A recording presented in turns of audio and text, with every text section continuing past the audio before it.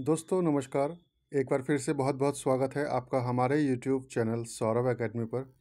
दोस्तों, आज हम जानेंगे उत्तर प्रदेश माध्यमिक शिक्षा सेवा चयन बोर्ड प्रयागराज। तो यूपी पीजीटी शिक्षक बनने के लिए आपको किन योग्यताओं की ज़रूरत होती है, वो हम जानेंगे। यदि आप यूपी पीजीटी का तैयारी करना चाहते हैं, एग्ज़ाम देना चाहते हैं और अध्यापक बनना चाहते हैं यूपी पीजीटी में, जो कक्षा ग्यारह और बारह को पढ़ाते हैं तो आज की वीडियो आपके लिए बहुत ही महत्वपूर्ण रहने वाली है दोस्तों। आज मैं आपको संपूर्ण जानकारी दूँगा। एक पिछला जो विज्ञापन प्रस्तावित हुआ था, उत्तर प्रदेश माध्यमिक शिक्षा बोर्ड से, सेवा चयन बोर्ड से तो उसको लेकर के मैं आपको बताऊँगा कि किस तरीके से चीज़ें होती हैं यूपी पीजीटी के अंदर। हमें क्या क्या चीज़ें करनी होती हैं और उसकी क्या एलिजिबिलिटी होती है, क्या क्राइटेरिया होता है, परीक्षा कैसे होती हैं, केंद्र कहाँ पे होते हैं और किन किन चीज़ों का हमें ख्याल रखना होता है। तो दोस्तों, यदि चैनल पे अगर आप पहली बार आए हैं तो चैनल को सब्सक्राइब कर लीजिए, बेल आइकन प्रेस कर लीजिए ताकि आने वाली वीडियोस की नोटिफिकेशन आप तक पहुँच सके। तो चलिए दोस्तों, शुरू करते हैं वीडियो को। तो ये पिछले वर्ष का जो विज्ञापन है दोस्तों, वो मैंने उठाया है आपको एग्ज़ाम्पल के लिए कि आपको कौन कौन सी जानकारी होनी चाहिए यदि आप यूपी पीजीटी की परीक्षा में शामिल होना चाहते हैं, तैयारी करना चाहते हैं। तो सबसे पहले जो देख लीजिए दोस्तों, आपका जो एप्लीकेशन जो है यूपी पीजीटी के लिए या टीजीटी के लिए आपका जो अप्लीकेशन होता है होता है, वो ऑनलाइन होता है। आपको फ़िज़िकल मोड में कुछ नहीं होता, आपको जो भी एप्लीकेशन फॉर्म होता है आपका ऑनलाइन आपको आवेदन करना होता है इसके लिए। दूसरा दोस्तों, प्रत्येक संवर्ग के प्रत्येक विषय के सापेक्ष एक ही आवेदन स्वीकार किया जाएगा। मान लीजिए, यदि आपका सब्जेक्ट पॉलिटिकल साइंस है तो आप केवल एक ही एक ही एप्लीकेशन फॉर्म भर सकते हैं। यदि आप एक से ज़्यादा एप्लीकेशन फॉर्म भरते हैं तो आपका फॉर्म जो है रिजेक्ट हो जाएगा। और यदि आपके पास दो सब्जेक्ट से एम है मास्टर, आपने दो सब्जेक्ट से किया हुआ है, और जो योग्यता रखते हैं आप दो सब्जेक्ट से। वो मैं आगे चल के बताऊँगा कौन कौन सी योग्यताएँ हैं, किस सब्जेक्ट्स के अंदर। कुछ मोस्ट इंपॉर्टेंट जो पॉपुलर सब्जेक्ट्स हैं, उनकी योग्यताएँ हम डिस्कस करेंगे आगे चल के वीडियो में। तो चैनल पे बने रहिएगा, वीडियो पे बने रहिएगा। तो यदि आपके पास दो सब्जेक्ट हैं, दो सब्जेक्ट से अगर आपने एमए कर रखा है तो उस विषय में आप दोनों सब्जेक्ट से जो है फॉर्म फिलअप कर सकते हैं। हमारा नेक्स्ट जो इम्पोर्टेंट है, इसमें जो दोस्तों परीक्षा होती है लिखित परीक्षा में ऋणात्मक अंकन नहीं है। यानी इसमें कोई नेगेटिव मार्किंग नहीं होती। यूपी पीजीटी की परीक्षा में जो प्रश्न होते हैं 125 लगभग प्रश्न होते हैं 125 प्रश्न का आपको जवाब देना होता है, लेकिन उसमें कोई नेगेटिव मार्किंग नहीं होती है। ये सबसे बड़ा प्लस पॉइंट है इसका। और उसके बाद किसी भी आरक्षण का लाभ उत्तर प्रदेश के निवासी के लिए ही अनुमान्य है। यदि आप किसी रिज़र्व कैटेगरी से हैं और आरक्षण पाना चाहते हैं तो यदि आप किसी अदर स्टेट से हैं यूपी के अलावा तो आपका जो रिजर्वेशन है, वो मान्य नहीं होगा, आप जनरल कैटेगरी के माने जाएँगे यूपी के अंदर। उसके बाद ऑनलाइन आवेदन अंतिम रूप से सबमिट करने के पश्चात उसमें किसी प्रकार का संशोधन नहीं किया जाएगा। तो यदि आप ऑनलाइन अप्लीकेशन सबमिट कर रहे हैं तो आप ये ध्यान रखिएगा कि आपने जो डिटेल्स भरी हैं फॉर्म फिल करते समय, वो बिल्कुल एक्यूरेट हैं करेक्ट हैं अप टू मार्क हैं, जो आपके तो टेंथ के ट्वेल्थ के और जो बी ए एम ए के जो सर्टिफिकेट्स हैं उनके अनुसार ही आपका नाम आपकी माता का नाम आपके पिता का नाम और आपकी डेट ऑफ़ बर्थ ये बहुत ज़्यादा इंपॉर्टेंट है आपको इसका ख्याल रखना है। अगला जो इम्पोर्टेंट पॉइंट है दोस्तों नोटिफिकेशन के अंदर। मैं पूरा नोटिफिकेशन आपको दोस्तों डिटेल आ, मैं आपको नहीं बता सकता मैं आपको जो शॉर्ट जो जानने वाली चीज़ें हैं आपकी वो मैं आपको बता रहा हूँ। आवेदन शुल्क जो होता है दोस्तों यदि आप सामान्य वर्ग से हैं, सामान्य जनरल कैटेगरी से हैं तो आपको सात सौ रुपये पे करना होता है और ऑनलाइन प्रोसेसिंग फ़ीस पाँच सौ रुपये होती है तो कुल मिला के आपको सात सौ पचास रुपये पे करने होते हैं जनरल से। अगर वहीं आप ए डब्ल्यू एस से हैं तो आपको छः सौ पचास रुपये पे करना होता है। छः सौ रुपये आपका आवेदन शुल्क और जो ऑनलाइन प्रोसेसिंग फ़ीस है, वो आपका पचास रुपये। यदि आप ओ बी सी कैटेगरी से हैं, तब आपको सात सौ रुपये प्लस पचास, यानी साढ़े सात सौ रुपये। उसी प्रकार यदि आप एस सी एस से हैं तो अनुसूचित जाति के लिए आपको चार सौ प्लस पचास, यानी चार सौ पचास रुपये यदि आप अनुसूचित जनजाति, यानी शेड्यूल्ड एस टी से हैं, तब आपको दो सौ रुपये प्लस पचास रुपये प्रोसेसिंग फ़ीस तो ढाई सौ रुपये आपको पे करना होता है। बाकी के जो जो कैटेगरीज हैं, वो आप देख सकते हैं यहाँ पर।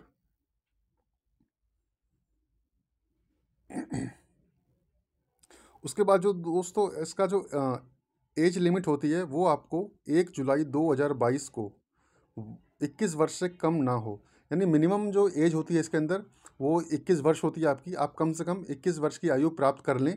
जो भी आपकी जो फॉर्म सबमिट करने की लास्ट डेट है वो आपकी मानी जाती है। आपकी टोटल एज वहाँ से कैलकुलेट की जाती है। यदि आप आ, जो फॉर्म भरने की एग्ज़ाम फॉर्म भरने की जो ऑनलाइन फॉर्म भरा जाएगा एप्लीकेशन फॉर्म यदि उसकी लास्ट डेट पे अगर आप 21 साल के हो जाते हैं, तब इस पोस्ट के लिए आप एलिजिबल हैं फॉर्म फिलअप करने के लिए। और जो मैक्सिमम एज होती है दोस्तों, वो करीब 40 के आसपास की होती है इसकी। और उसके बाद जो तो आपका जो वेतन नाम है, जो आपकी सैलरी जो होगी प्रवक्ता संवर्ग के लिए, वो सैंतालीस हज़ार छः सौ से एक लाख इक्यावन हज़ार एक सौ। पे लेवल आपका एट होता है ग्रेड पे आपका फोर्टी एट हंड्रेड होता है, काफ़ी डिसेंट सैलरी है। उसके बाद जो इम्पोर्टेंट पॉइंट है दोस्तों, इसके अंदर, वो आपका परीक्षा केंद्र है। परीक्षा केंद्र दोस्तों, जो यूपी के अंदर ही आपकी परीक्षा परीक्षा जो है आयोजित की जाएगी। और जो परीक्षा जो आपकी आयोजित की जाती है, वो आपकी ओ एम आर शीट पर, यानी मल्टीपल चॉइस क्वेश्चन क्वेश्चन होते हैं, वो आप पेपर पे देना होते हैं आपको। ऑनलाइन इसका एग्ज़ाम नहीं होता है। आपको एप्लीकेशन ऑनलाइन सबमिट करना होता है, लेकिन आपका जो एग्ज़ाम होता है, वो ऑफलाइन होता है ओ एम आर शीट के ऊपर।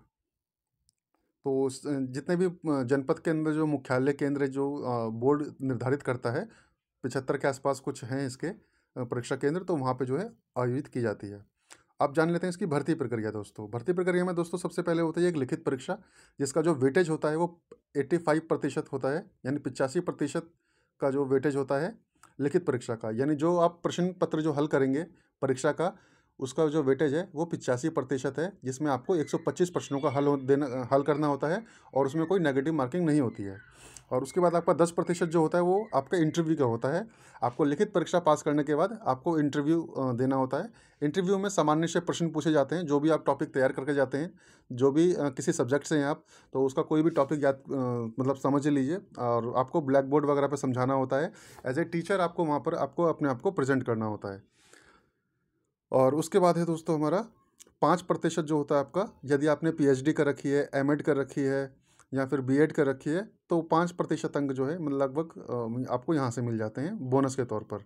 यदि आपने पीएचडी नहीं कर रखी है एमए नहीं कर मतलब एम एड नहीं कर रखी है और बीएड नहीं कर रखी है तो भी आप एलिजिबल हैं इस परीक्षा को देने के लिए। लेकिन आपको जो पाँच प्रतिशत अंक है, वो आपको नहीं मिलेंगे। आप उनसे वंचित रह जाएँगे। उसके बाद दोस्तों, इसकी चयन प्रक्रिया क्या है? चयन प्रक्रिया में जैसे मैंने आपको बताया, लिखित परीक्षा जो होती है, वो 425 अंक की होती है। आपका जो साक्षात्कार है, वो आपका पचास अंक का होता है। और जो पच्चीस अंक होते हैं आपके, जो मैंने आपको बताया, जो पाँच परसेंट है, उसमें M Ed B Ed P H D वगैरह आपके पास है तो आपको एज मिल जाता है यहाँ पर। तो कुल मिलाकर के आपको 500 अंक में से आपकी जो है, मेरिट तैयार की जाती है। आपको कोशिश करनी है, यदि आपके पास बी एड एम एड नहीं है पीएचडी नहीं है तो आप कोशिश करिए, आपका जो लिखित परीक्षा है 425 अंक का, आप इसमें मैक्सिमम जितने ज़्यादा से ज़्यादा आप मार्क्स ला सकते हैं, वो लाने की कोशिश करिए। यदि आप सिविक्स सिविक्स सब्जेक्ट से हैं पॉलिटिकल साइंस सब्जेक्ट से हैं तो उसकी तैयारी हम आपको अपने चैनल पर करवाएँगे। पूरी कंप्लीट तैयारी करवाएँगे, आपको शून्य से लेकर के सिलेक्शन तक हम आपको पहुंचाएँगे। इस बात की हमारी गारंटी है। तो चैनल को सब्सक्राइब कर लीजिए, बेल आइकन प्रेस कर लीजिए, क्योंकि इंपॉर्टेंट वीडियोस हमारी जो है इन्फॉर्मेटिव वीडियोस आती रहती हैं यूपी पीजीटी की परीक्षा के संदर्भ में। हमारा जो अगला है इंपॉर्टेंट पॉइंट वो है लिखित परीक्षा। वो हमने अभी ऊपर डिस्कस कर लिया है। 425 अंकों का एक प्रश्न पत्र होता है, लगभग उसमें 125 प्रश्न होते हैं और प्रत्येक प्रश्न जो होता है आपका तीन पॉइंट चार, थ्री पॉइंट फोर अंक का होता है। तो थ्री पॉइंट फोर आप मल्टीप्लाई करेंगे वन ट्वेंटी फाइव से तो आपका चार सौ पच्चीस अंक आ जाएँगे। यानी प्रत्येक सही उत्तर के लिए आपको तीन पॉइंट चार अंक दिए जाते हैं और गलत उत्तर के लिए कोई नेगेटिव मार्किंग नहीं है दोस्तों इसके अंदर। तो बहुत ही सुनहरा मौका है अच्छा मौका है। या यदि आप यूपी पीजीटी की परीक्षा की तैयारी करने जा रहे हैं और इसमें दूसरा बेनिफिट ये है कि आपको बीएड की अनिवार्यता नहीं है इसके अंदर। दूसरा है समय अवधि। आपकी जो लिखित परीक्षा होगी 125 प्रश्नों को आपको जो हल करना होगा, वो निर्धारित समय जो है इसका दो घंटे का है। दो दो घंटे की आपकी परीक्षा होगी। और प्रश्न का स्वरूप देखिए दोस्तों, वो एम सी क्यू बेस्ड होते हैं मल्टीपल चॉइस क्वेश्चन होते हैं। 125 के 125 आपके जो हैं मल्टीपल चॉइस क्वेश्चन होंगे। आपको क्याली काली स्याही या बॉल पेन से आपको जो गोलों को काला करना होता है ओ एम आर शीट पे तो उसी तरीके से है। और उसके बाद साक्षार हेतु मेरिट लिस्ट बनती है। यदि आप परीक्षा में अच्छे नंबर ला देते हैं, लिखित परीक्षा में 425 में से आप मेरिट में आ जाते हैं, तब आपकी इंटरव्यू के लिए जो है लिस्ट तैयार की जाती है मेरिट लिस्ट तो इसमें आपको अच्छा प्रदर्शन करना होता है लिखित परीक्षा के अंदर इंटरव्यू में आने के लिए। और इंटरव्यू में आने के लिए आपको बहुत ज़्यादा मेहनत करनी होती है इसके अंदर। यदि आप पॉलिटिकल साइंस सब्जेक्ट से हैं, सिविक्स सब्जेक्ट से हैं तो आपको बिल्कुल भी घबराने की, टेंशन लेने की ज़रूरत नहीं है। हम लोग यहाँ पर आपके लिए हैं, आपकी तैयारी बिल्कुल करवाएँगे। आपको कुछ बुक खरीदने की ज़रूरत नहीं है, कोई कोचिंग करने की ज़रूरत नहीं है, आपको कुछ करने की ज़रूरत नहीं है। आप घर बैठे आराम से तैयारी करिए, आपका सिलेक्शन हम निश्चित करवाएँगे। बस आप चैनल को सब्सक्राइब कर लीजिए, चैनल के साथ जुड़े रहिए। उसके बाद है, आपका जो परीक्षा तिथि की जो सूचना है, आपको यथासंभव दी जाती है। आपकी जो परीक्षा की तिथि है, एग्ज़ाम फॉर्म भरने के बाद करीब करीब जब एग्ज़ाम डेट जो डिक्लेयर होती है, शेड्यूल जारी होता है तो करीब करीब आपको डेढ़ से दो महीने का समय मिलता है। डेढ़ से दो महीने पहले जो है, आपको सूचित कर दिया जाता है कि आपकी जो एग्ज़ाम डेट है, जो शेड्यूल है, वो कब होने जा रहा है। तो उसके लिए भी आपको अच्छा खासा समय मिल जाता है।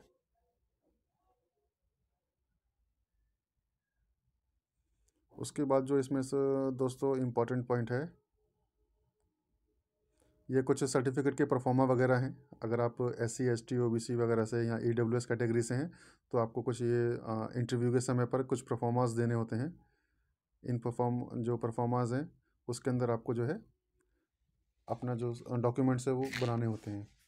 तो उसके बाद कुछ इस प्रकार से जितने भी सब्जेक्ट्स होते हैं पीजीटी के तो कुछ वैकेंसीज़ जो उसके कैटेगरी वाइज हैं जनरल ओबीसी एससी एसटी तो उसका जो है डिटेल दिया हुआ होता है। बालक वर्ग और बालिका वर्ग दोनों में। आप देख सकते हैं यहाँ पर, ये आपका जो है, बालिका वर्ग है और ऊपर जो है आपका बालक वर्ग है। उसके बाद है दोस्तों, प्रवक्ता पद हेतु शैक्षणिक आहत्या, जो सबसे ज़्यादा इंपॉर्टेंट है। अब आपकी एलिजिबिलिटी क्या होनी चाहिए? आपके अंदर योग्यता क्या रखनी चाहिए आपको कि आप ग्यारहवीं, बारहवीं के अध्यापक बन सकें? यानी यूपी पीजीटी के लिए आपकी जो योग्यता है वो क्या होनी चाहिए कम से कम? तो जैसे मुख्य विषय हम पॉपुलर जो सब्जेक्ट्स हैं उसके लिए हम बात कर लेते हैं। आप देख सकते हैं दोस्तों यहाँ पर विषय दिए गए हैं और यहाँ पर आपकी जो एलिजिबिलिटी है वो और ये पे वरिया वरीयमान अधिमानी अर्हता यानी ये जो है आपका ऑप्शनल है। आपके पास कंपलसरी नहीं है कि आपके पास जो बीएड हो एमएड हो ये आपकी वरीयमान है मतलब आ, कुछ मार्क्स उनको मिलते हैं पाँच प्रतिशत वो उसके लिए है। तो सबसे पहले जान लेते हैं गणित के लिए। अगर आप मैथमेटिक्स से, आप एमए हैं या एमएससी हैं, तब आप इसमें अप्लाई कर सकते हैं। एलिजिबल हैं पीजीटी मैथमेटिक्स के लिए। और यदि आपने एमए नहीं किया हुआ तो आप गणित में आपने तीन वर्ष का जो ऑनर्स कोर्स होता है, वो किया हुआ है तो भी आप इसमें एलिजिबल हो जाते हैं। और बीएससी आपने ऑनर्स किया हुआ है तो भी आप एलिजिबल हो जाते हैं। उसके बाद दोस्तों गृह विज्ञान। गृह विज्ञान में भी आपको एमए चाहिए होता है, या अगर आप गृह अर्थशास्त्र होम इकोनॉमिक्स या गृह कला होम आर्ट्स में आपने एमए किया हुआ है तो आप यहाँ पर फॉर्म भर सकते हैं आराम से। उसके बाद अंग्रेज़ी है दोस्तों। अंग्रेज़ी में आपका जो है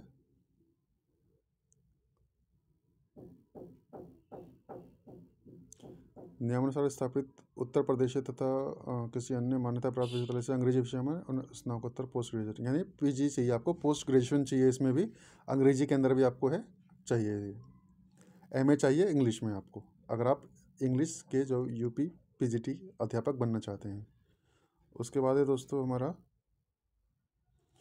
अगर आप कॉमर्स के विद्यार्थी हैं तो आपको एम कॉम चाहिए। यदि आप इकोनॉमिक्स के विद्यार्थी हैं इकोनॉमिक्स अर्थशास्त्र के अध्यापक बनना चाहते हैं तो आपको एमए चाहिए। या फिर एम कॉम तथा अर्थशास्त्र सहित बी कॉम आप देख सकते हैं एलिजिबिलिटी क्राइटेरिया।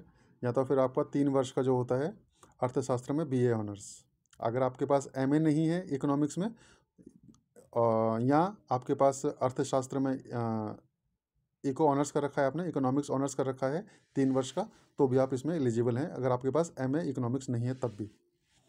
उसके बाद है दोस्तों नागरिक शास्त्र। नागरिक शास्त्र की तैयारी दोस्तों आपको इसी चैनल पे करवाई जाएगी। संपूर्ण तैयारी करवाई जाएगी।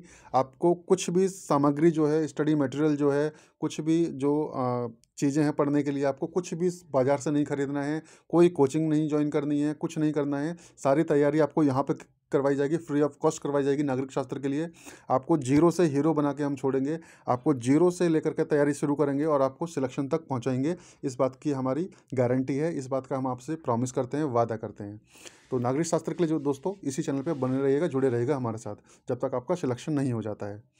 तो एम में आपको राजनीति शास्त्र से एमए चाहिए, अगर आप सिविक्स से परीक्षा देना चाहते हैं। यदि आपके पास एमए नहीं है पॉलिटिकल साइंस से, तब आप एम ए या बी ए बी ए में आपके पास जो है ऑनर्स होना चाहिए राजनीतिक शास्त्र से। यानी B A political science honours होना चाहिए आपके पास, और, या बी ए ऑनर्स नहीं है आपके पास पॉलिटिकल साइंस में तो एम ए आप पॉलिटिक्स से होने चाहिए। उसके बाद इतिहास है दोस्तों, इतिहास में भी सेम वही है दोस्तों एम ए होना चाहिए आपका हिस्ट्री के अंदर। और तीन वर्ष का जो बी ए ऑनर्स है हिस्ट्री में, वो आपके पास होना चाहिए। इसी प्रकार से भूगोल का भी है दोस्तों एमए चाहिए उसमें, और एमए नहीं है तो आपके पास बी ए ऑनर्स चाहिए आपको जियोग्राफी के अंदर। मनोविज्ञान का भी सेम है दोस्तों साइकोलॉजी में आपको एमए चाहिए या फिर एम अगर आप साइकोलॉजी का देखेंगे तो इसमें एक एम है। अगर आप, आपके पास एमए नहीं है साइकोलॉजी में, अगर आपके पास एम किया हुआ है आपने बी की जगह एम भी किया हुआ है तो आप इसमें एलिजिबल हैं। एम वाले भी साइकोलॉजी में एलिजिबल हैं। उसके बाद सोशियोलॉजी, समाजशास्त्र है दोस्तों। समाजशास्त्र में भी सेम आपका यही है। एलिजिबिलिटी क्राइटेरिया एमए होना चाहिए आपके पास। या फिर तीन वर्ष का बीए ऑनर्स होना चाहिए सोशियोलॉजी, समाजशास्त्र के अंदर। और बाकी इधर जो ये है, आपके पास बी एड एम एड है, वगैरह है तो आपको वरीयता दी जाएगी। पाँच प्रतिशत अंक उसमें आपको दिए जाते हैं कि आपने कौन सा जो है सब्जेक्ट किया हुआ है, कौन सा कोर्स किया हुआ है बीएड किया है एमएड किया है पीएचडी किया है। तो उसके अनुसार से इसका डिस्ट्रीब्यूशन होता है पाँच प्रतिशत अंकों का। उसके बाद आपका रसायन विज्ञान है दोस्तों। रसायन विज्ञान में आपको देख सकते हैं यहाँ पर। शिक्षा शास्त्र में आप देख सकते हैं। एजुकेशन आपने किया हुआ है। एमए आपको चाहिए शिक्षा शास्त्र में एम के साथ बीए अथवा बीएससी आप देख सकते हैं। तो दोस्तों ये कुछ जानकारी थी बेसिक जानकारी थी यूपी पीजीटी के लिए। यदि आप यूपी पीजीटी की परीक्षा की तैयारी करना चाहते हैं तो आपको जो मोटी मोटी जानकारी थी वो मैंने आपको इस माध्यम से बता दी है, जो पिछला नोटिफिकेशन जारी किया गया था 2022 में। तो दोस्तों, अभी से आप जुड़ जाइए अपनी तैयारी के अंदर और good luck, best of luck दोस्तों। आप चैनल को सब्सक्राइब कर लीजिए, बेल आइकन प्रेस कर लीजिए, ताकि आने वाली वीडियोज़ की नोटिफिकेशन सबसे पहले आप तक पहुँच सके। बहुत बहुत धन्यवाद। Thank you.